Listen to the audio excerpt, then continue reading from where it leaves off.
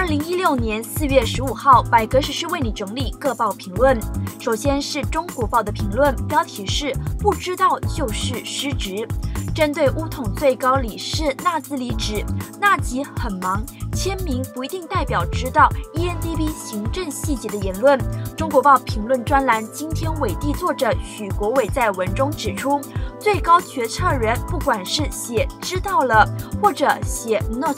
又或者在文件上签名，都代表着他知道这件事，且留下注记，要负起责任。好比如过去皇帝在奏折上批写“朕知道了”，现今老板在 YS 或电邮回应 “not”，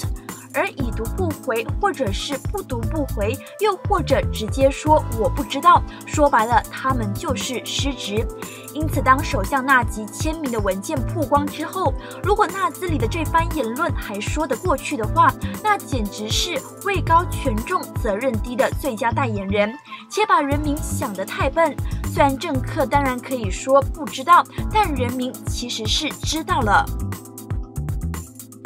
接着是光明日报的评论，标题是阿德南的玄机。针对沙拉月周选，光明日报评论专栏看见作者指出，这场周选不是国政的舞台，而是阿德南的个人秀。看阿德南能否为奄奄一息的人联党妙手回春，争回一片天，让华人选票的回流，令土保党大畅丰收。作者指出，作为国政里众多盟党中的一员，土保党和沙州首长阿德南无需像西马的马华民政党一样寄人篱下。沦为应声虫，成为乌统的附属品。所以，当国政诸盟党接税，只有沙州土宝党的阿德南独醒，他只需多说名话，多看名相，就可卸下沉重的乌统包袱，而赢得沙州选。